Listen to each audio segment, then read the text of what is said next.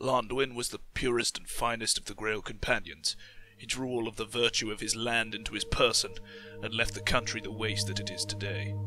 Sir Emerin, Knight of Lyonesse, shortly before his execution for heresy.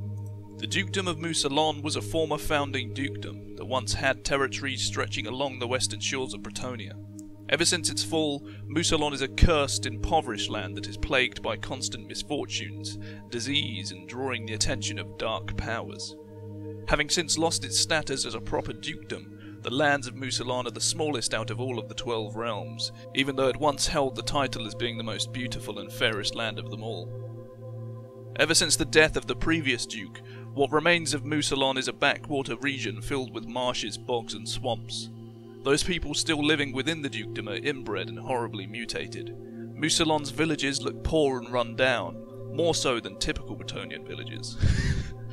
the peasant hovels are on the verge of collapsing. Streets are little more than sewers, and there are as many dead animals to be seen as living ones.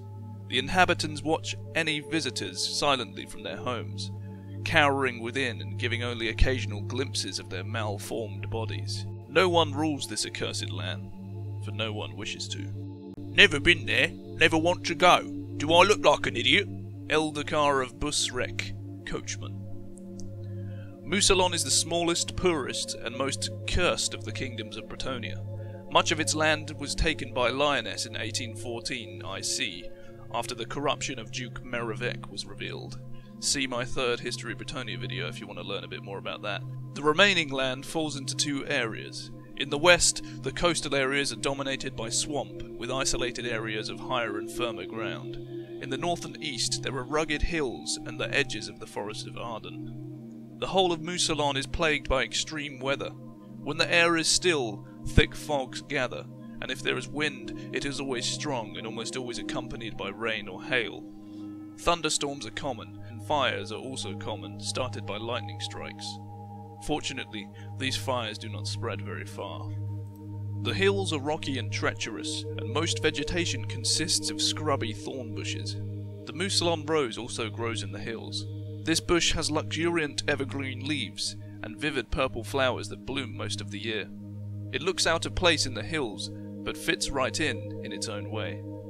The stems are coated with vicious barbed thorns, and the pollen is a deadly poison what is more, it grows where a human corpse has been left to rot. The sites of old battles turn into thickets of the deadly plant. Mousillon's swamps are even more treacherous. The firm ground of a trail often sinks an inch or so beneath the level of water. This poses no problem for those in stout boots or on horseback, apart from the existence of sucking mud and quicksand under the same water a yard or so either side. To make matters worse, swamp mat creates false trails.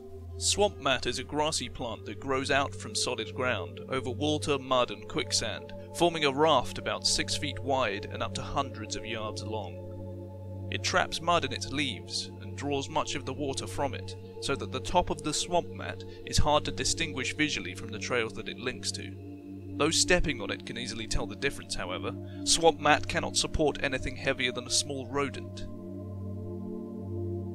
cursed dukedom is haunted by undead, in greater numbers than elsewhere in the kingdom. Indeed, the land positively encourages the undead. Undead creatures summoned by necromantic spells do not revert to normal corpses if they become uncontrolled. Instead, they continue to obey their last order until destroyed in combat. Wandering undead can sense the borders of Mousillon and turn back. If forced across, they will become normal corpses unless they are still controlled. These energies seem appealing to other undead as well. There are surprisingly few reports of beastmen.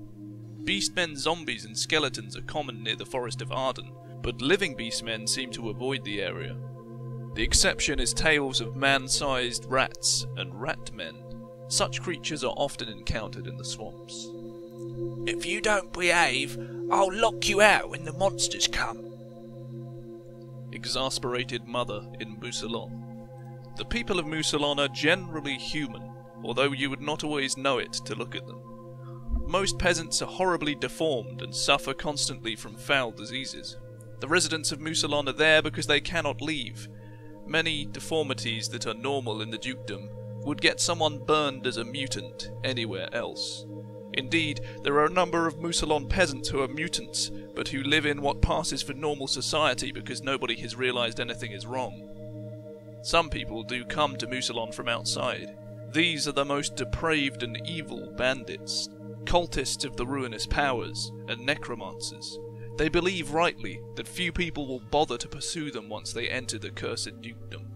Many such immigrants find that the monsters waiting for them are more dangerous than any bounty hunter, but a few survive to add to the peril for the next set of arrivals. The castles of the nobility also appear to be decaying, but here the appearance is somewhat illusory. Ruined portions are not unusual, but parts are still inhabited, and they are always well maintained but never beautiful. The decaying corpses of gibbeted criminals hang outside most castles, fat ravens feeding on the remnants. The nobles all wear black armor with a helmet, and they never reveal their faces. Some are actually undead, vampires, wights, or mummies, and the same lord has ruled for centuries. Others are mutants, or servants of the ruinous powers bearing the marks of their lords. A few are simply human and need to hide the fact lest their neighbours think them weak. Adventurers do not need a reason to leave Mousillon. They leave because they are able to do so.